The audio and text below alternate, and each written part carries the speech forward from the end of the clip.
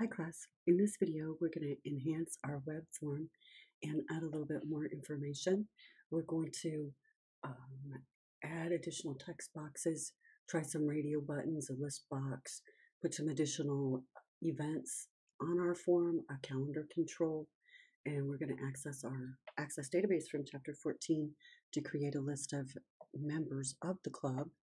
So we've got a lot to do when we look at our web form, we saw that the HTML controls didn't make that round trip to the server. So we changed them to run at the server. I'm going to change my title here to be centered. Right now, my cursor, my insertion point is at the beginning of the title. I'm going to use my format menu and choose justify center. I also may want to choose my position to be relative.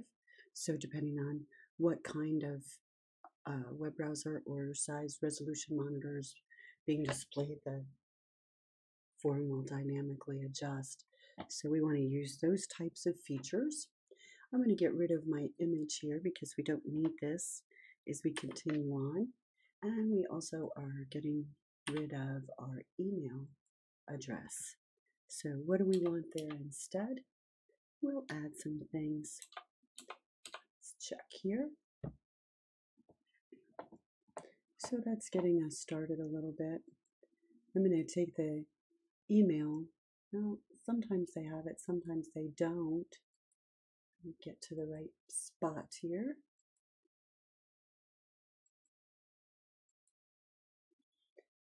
Now, as we look at the controls that are available, let me get rid of the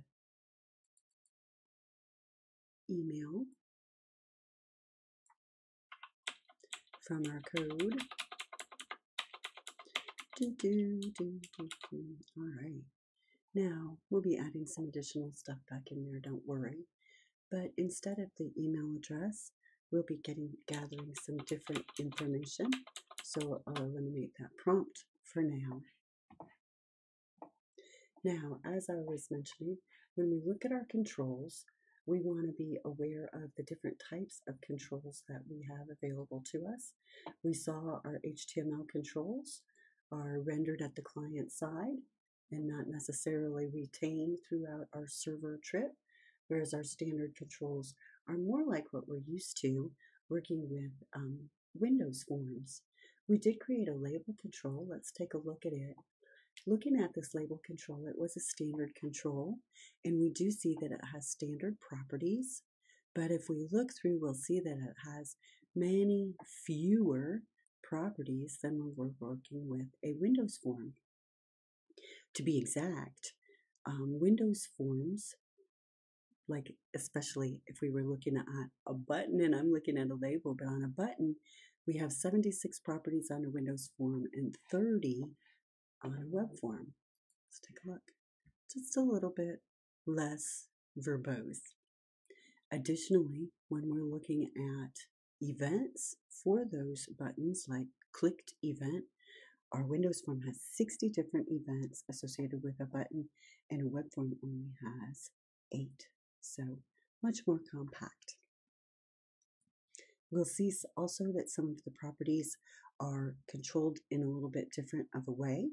Instead of a name property, we have the ID property.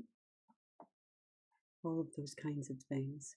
Now, each of those controls that we'll be using um, has a property called auto postback. And that can be set to true, and that will trigger a postback to the server automatically, which means if somebody changes that control, it will post to the server.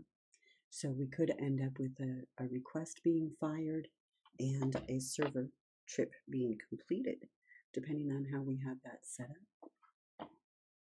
Let's work with our radio buttons and see how we could do that first. Now I want to finish up my controls over here for text type information. So after last name, I'm going to add phone number spaces, remember, and I want to add a text box. Now this phone number text box is going to be a standard control. whereas our other two started out as HTML controls. We'll see if that causes us any trouble. We'll make this txtbx phone number. And then next, I want another description here, and this is going to be for student ID.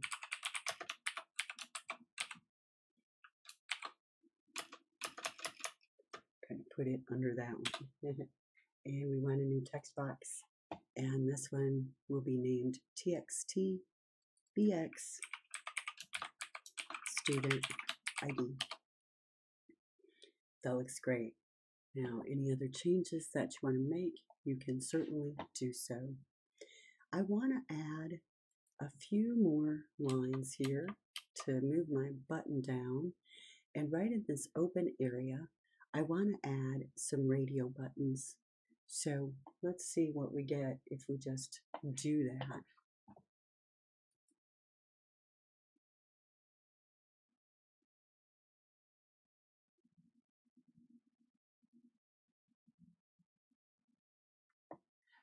our textbook doesn't really give us a lot of information if you've noticed. So what we're going to do is right about here, tab over a little bit, or I could do format, set position, how about justify, center, nah, don't want to do that. I'll keep tabbing. So what I want is in here, I want to have this heading that says classification. Excuse me. And right under that, notice how we're going to kind of be lining things up here. I want a radio button. So, radio button right about here. And for my radio button, my text is going to say freshman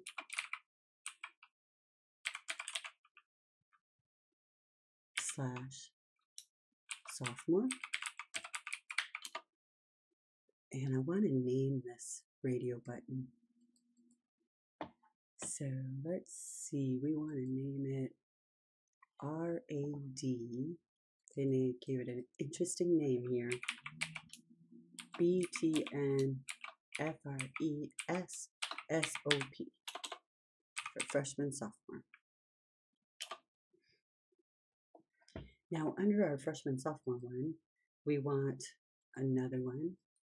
Can we get one right there? Oh, see how it does such weird things. It's all HTML.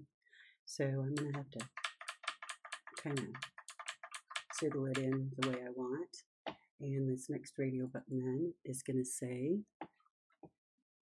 junior, senior.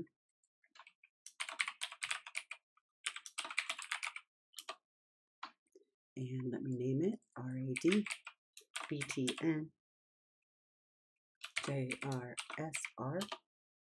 And one more.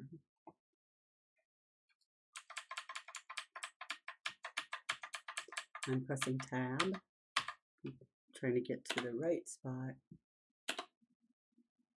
and this radio button will say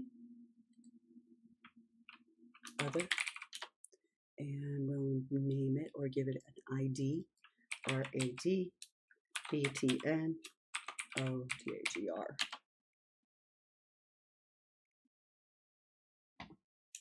Whoops. Now when we're looking at this, we're going to put a little message right underneath it that can say something about how they're welcome.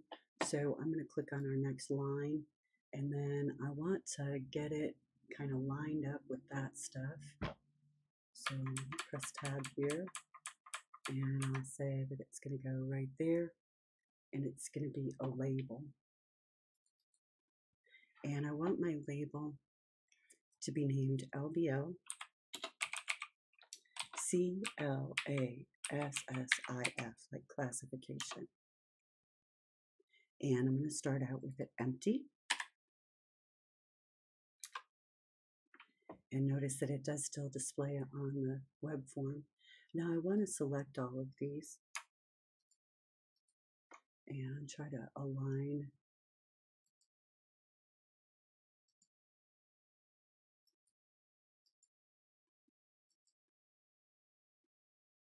We'll make them a little smaller and it's not going to let me. So I'm going to have to try to backspace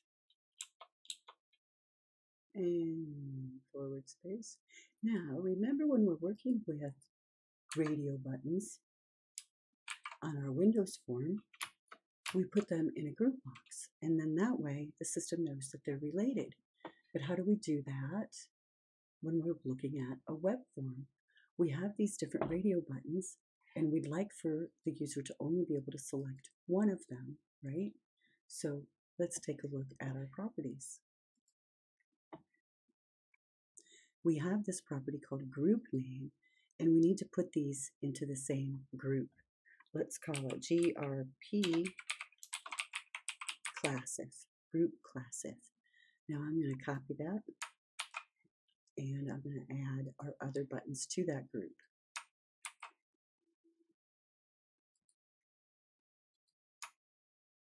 Now, if we run our application,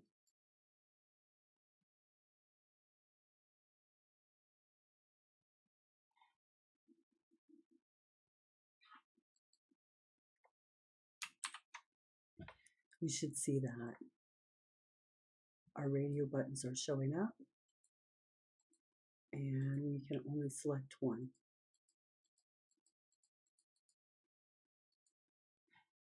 And there we go.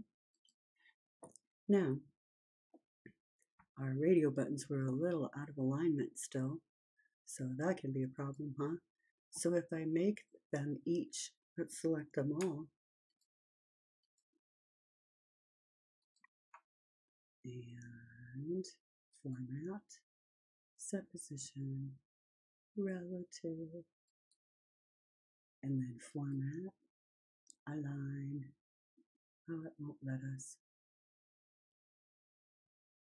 Can we make them all the same width? That helps. Now, since we've made them all the same width, it would be nice if it would let us align the lefts, huh? But at least we can kind of see them all being the same size.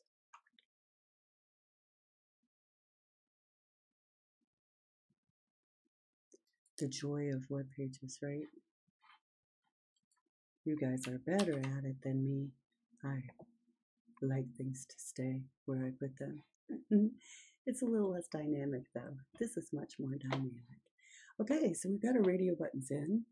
What I'd like to do is add in an event procedure that's going to execute for each of those. So I'm going to select them all again. And just the same as we could do when we're working with the Windows form, we can go to our events and we can say that if somebody checks or changes one of these, we want to run a given event and we want to run RAD buttons underscore checked changed. Now when I press enter, it should take me to that code window to enter the code in for that event procedure. So we're going to see if the freshman sophomore radio button is checked. If so, we're going to update our label our classification labels text property to say freshman and sophomore space. Now, if it's not uh, freshman, sophomore, we'll see if the junior, senior one is checked. And if so, we'll fix our label.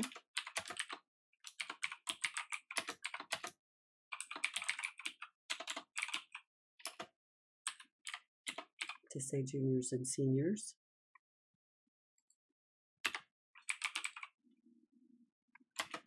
else if the other one is checked.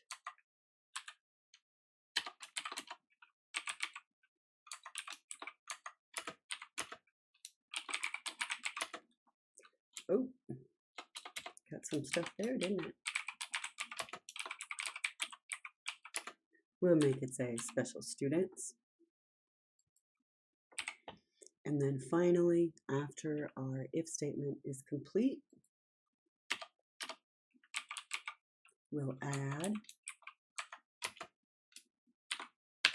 to our label the words always welcome exclamation point. Let's run our application.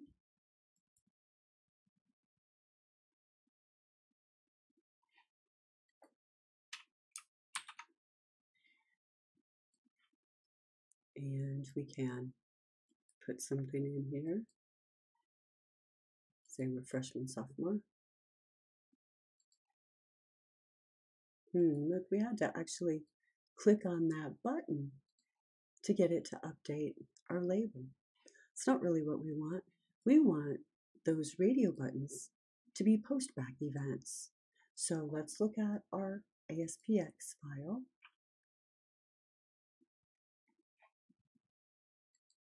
At our properties. Hmm, right now they're all set to auto postback of false. Let's change it to true and say, yep, I want you to post to the server anytime I change one of these. Check that code behind file and see if there's some code to run. Now let's see if that fixes things for us. Ah, there we go. Now we see our label right away. So great. I see a couple of things I want to fix. Let's change our font size on that label.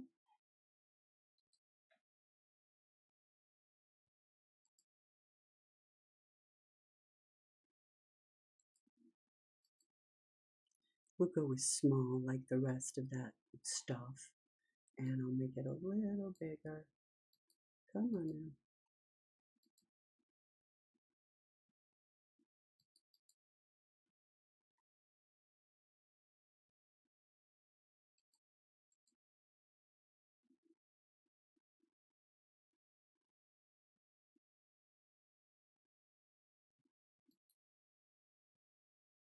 Not letting me change its size. Well, let's run it. See if at least that font got changed, huh? you can tell it's not my area.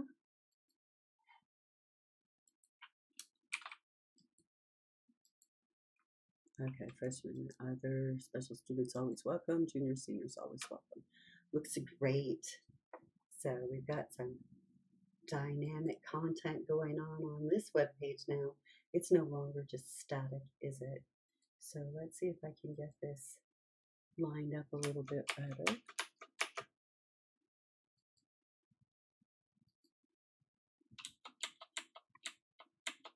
There we go. And I'll move the first line over also. Let me see if I like that better.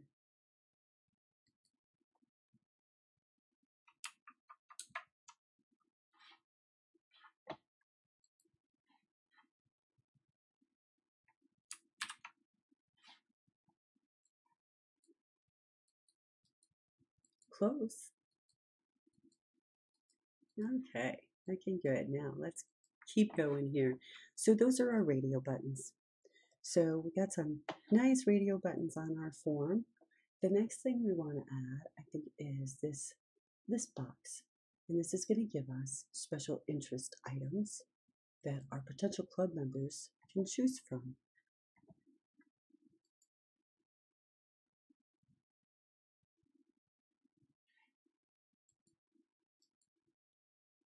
So our list box interests, let's just add something here. Let's find a list box.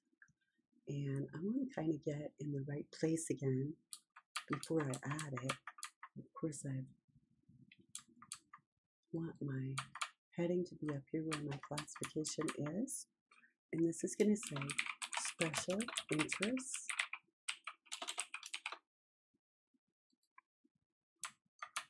And then underneath our special interests heading, we want that list box. And let's name it LST BX interests. And we'll add some items to our list box collection. Let's add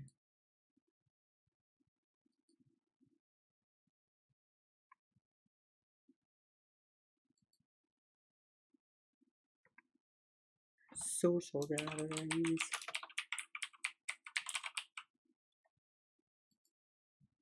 And ask a techie and tutoring.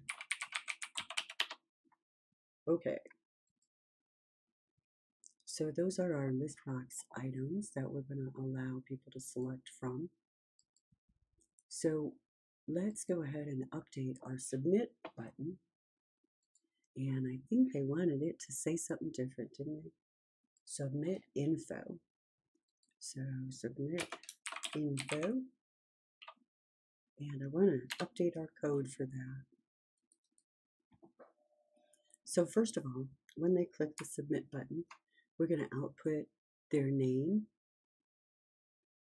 Let's see, thanks, first name. Let's change it. Let's get rid of their last name. And after their first name, we're going to say exclamation point. You will be contacted. And then we want it to be kind of a dot, space, dot, space, dot thing. All right, so we got rid of that email address and all of that. Now let's look at our list box of interests. If our list box interests has an item, the index will be greater than negative 1. Because we know negative 1 means nothing selected. So if it's greater than that, something is selected. So let's change our LBL submit or output text to add more to discuss joining the. Now we're going to do a um, backslash is an escape character because we want this double quote to display. And then our next double quote will close our string. And after the double quote, we're going to display that list box interest selected item that they picked.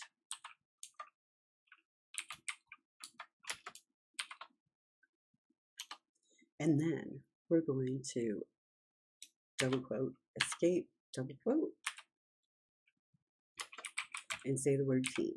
So now in our output, we'll see the um, interest that they selected surrounded by double quotes because we use those escape characters.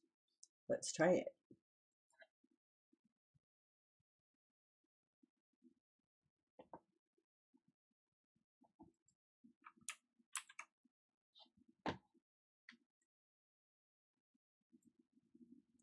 Okay, so I'm going to put in some information here, pick a classification, and now I'm going to choose a special interest and submit info. So it says, thanks, my first name. Will be contacted, dot, dot, dot, to discuss joining the tutoring team. Awesome. Okay, so I, my button has jumped way over here to the side. I need to use that format center tool, but it looks like the rest of my form is centered that way too, so I'm probably centered okay. All of this other information is just getting stuck a little bit together, but that's all right. Websites do that, huh? So we're not going to spend a huge amount of time trying to format things. Now, in the next video, we're going to validate some of the information that the user gives us and add that calendar control. So see you then.